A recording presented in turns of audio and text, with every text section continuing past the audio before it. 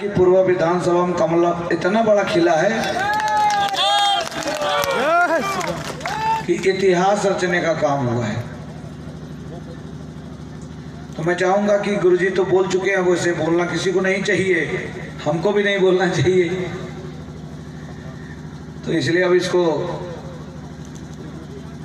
गुरुजी से कहूँगा कि एक बार और जोरदार से हमको आशीर्वाद देकर अपने सभी लोगों को आदेशित करके जाएँ।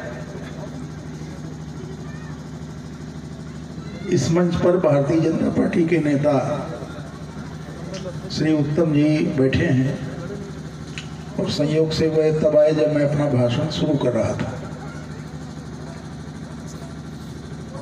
इनको भारतीय जनता पार्टी को पिछले चुनाव में वोट मिला था कितना? बहत्तर हज़ार आपको मिला था। और आपको?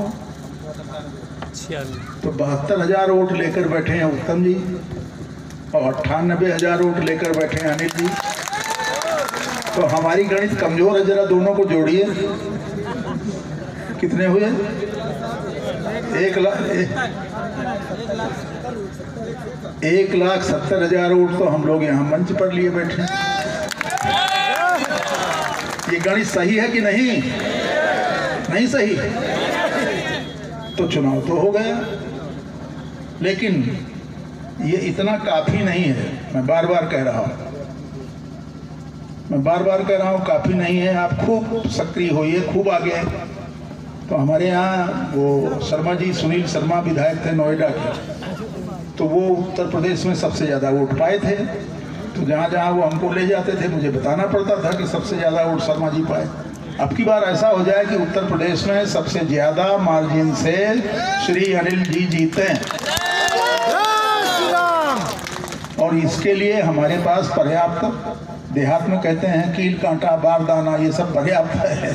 उत्तम जी हैं हम भी उसी में हैं जिसे इनके एक लाख सत्तर हज़ार जोड़े। कितने जोड़े? एक लाख सत्तर हज़ार। एक लाख सत्तर हज़ार दस बीस हज़ार पाँच हज़ार हमारे भी होंगे। तो ऐसे कुछ जो जोड़ लेना जो कहीं गड़बड़ होगा जोड़ते समय गड़बड़ होगा चुनाव में नहीं। तो एक बार आप लोग ये अनिल सिंह जी का नारा लगाइए बड़े ज़ोर हम भी शामिल होंगे। श्री अनिल सिंह जी। जीतेंगे भाई जीतेंगे। जीतेंगे। जीतेंगे भाई जीतेंगे। अनिल भैया जीतेंगे। जीत गए भाई जीत गए। अनिल भैया जीत गए। बहुत धन्यवाद सबको बहुत आभार कि आप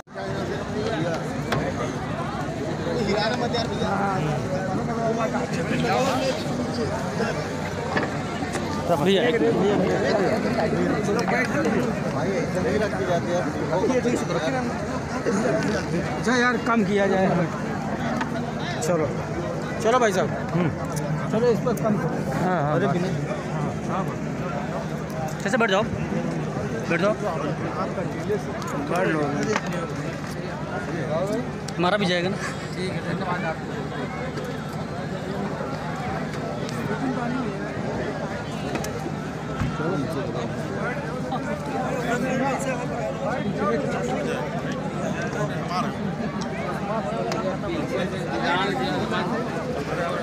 इधर ना पीछे को। भैया मंच में ज़्यादा भाई बेकार बैठ बैठने बढ़ा लो।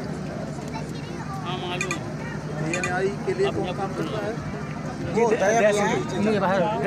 दया भैया बाबूजी याद कर रहे हैं आपको। बाबू जी याद कर रहे हैं आपको। ठीक। आप काहे बाहर टहल रहे हैं?